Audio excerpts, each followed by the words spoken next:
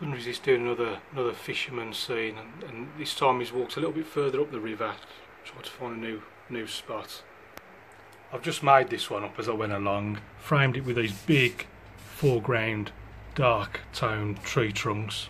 Which contrast nicely against these ones put in while the paper was still wet and the faint sort of lost in the bright colour bright sky of the uh, in the distance. Use some of that light reflecting in the water to contrast nicely against these reeds that just flicked up. Just tried to use a dark colour using the same mix I've done the trees in. So I think I'll call this one First Catch.